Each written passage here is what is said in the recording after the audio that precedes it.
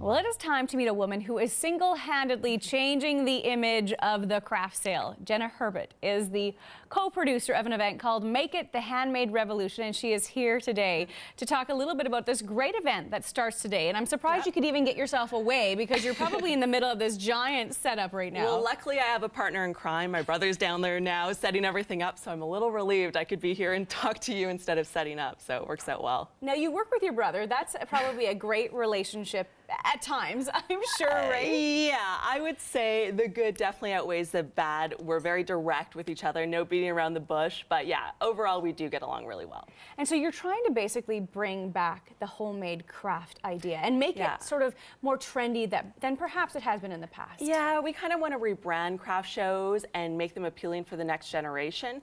And we say make it like a mullet, craft show in the front, party in the back. So we have DJ spinning that. and a little bit more, a better vibe, I guess, than what a traditional craft show might have. So when you walk through the front doors, you know, you talked about the DJ. What what is it like? Is it just is it almost like a, a, great sort of social scene for people to be in? Oh, totally. Like we have designers from all over Canada, so it's really cool for Edmontonians to come and see, you know, maybe not what they're typically seeing at craft shows, and everyone's so enthusiastic and so awesome. The vibe's wonderful. You've brought us down some great stuff here to, mm -hmm. to mm-hmm. showcase. Um, and like you say, all across Canada, people are, are coming to the show yeah. to, to sort of display their wares. So what are some of the things that are kind of neat and unique that you know you might not see anywhere else. Okay, uh, well I think this is really cool. It's uh, from Dish Pottery and she's based in Jasper, so it's kind of convenient to have your chopsticks on your bowl. Yeah. So that's pretty cool.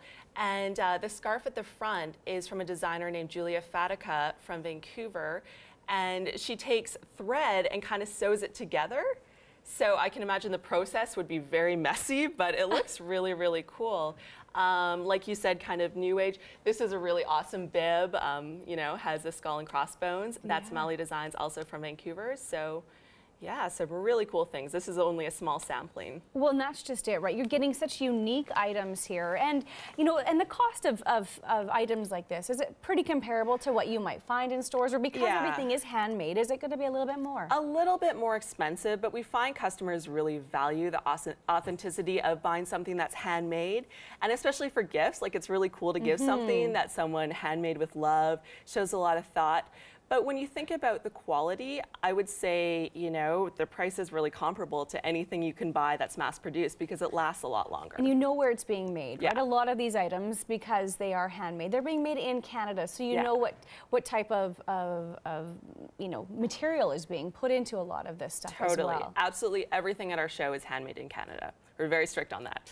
Excellent. And yeah. now, when you think about handmade products, you know, a lot of people are, are looking to, you know, do a lot more of their shopping at farmers markets mm -hmm. and for even for their groceries and the produce and that kind of thing. And yeah. is that sort of where we're seeing this shift? Is a lot of people are being more conscious and more aware? Yeah, it really seems to be that way because I started out as a designer about seven years ago and I felt like I was right on the cusp because with sites like Etsy, which is a huge, mm -hmm. you know, it's mm -hmm. almost a household name now. So I think, yeah, with farmers markets, it just seems like there's a total resurgence of that kind of thing, paying attention to the detail of where something's from. Right. I know there's a 100 mile diet, which is also really, yeah. really cool. So I, I don't want to call it a trend because I think it's, will have a little bit more, more longevity than that. But yeah, definitely seems to be the hot thing right now. Good. Thank you so much for being with us and oh, good luck you. this weekend. Thank you. Of course, the Make It the Handmade Revolution starts this afternoon at 4 p.m., runs till 9 tonight, and then again tomorrow 11 a.m. to 6 p.m. and on Sunday from 11 to 5. It's over at the Alberta Aviation Museum hangar on Kingsway. We've got a link to more details that can be found on our website. Thanks again. Thank you. Stay with us.